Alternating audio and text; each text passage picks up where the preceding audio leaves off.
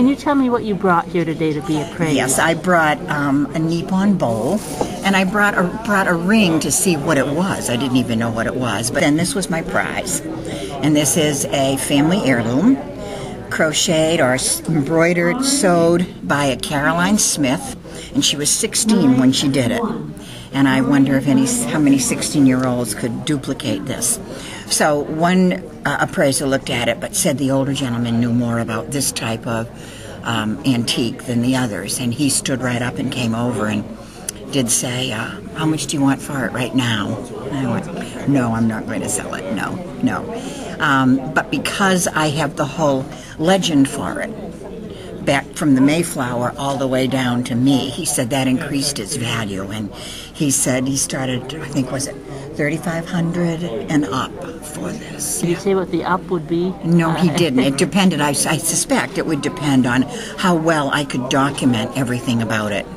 And I can document it entirely. I want to know the worth because I have a few things that I think are worth things so that when I pass them on to the next generation, they're aware of what this is and how valuable it is because of its history.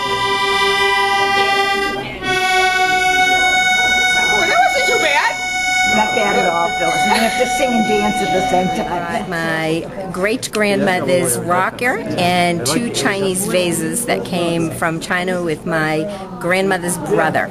And did you have any surprises in the appraisals? I was pleasantly surprised, and of course, everybody wants to uh, buy them.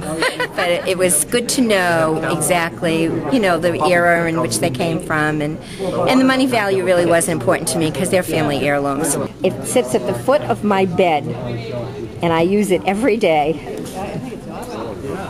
Many hundreds of dollars, sure. I'm sure. And that was your great grandmother's? Yes. And when you sit in it, what do you, what do you usually do? Is it to put on your socks? Or, Sure. Yeah. Sometimes I just sit in it because it's very comfortable. And you feel connected to history? Yes, absolutely. What's your name, sir? Bill, Bill Jones. And Bill, what's this you have? The uh, what mandolin? And how did you find it, or how It did was you my grandmother's. Uh, she was a musician before she met my grandfather. 19, 19, 15, 16 era. It's old. That's all I know so far. Good night. That was the very They're not the same thing as you showed.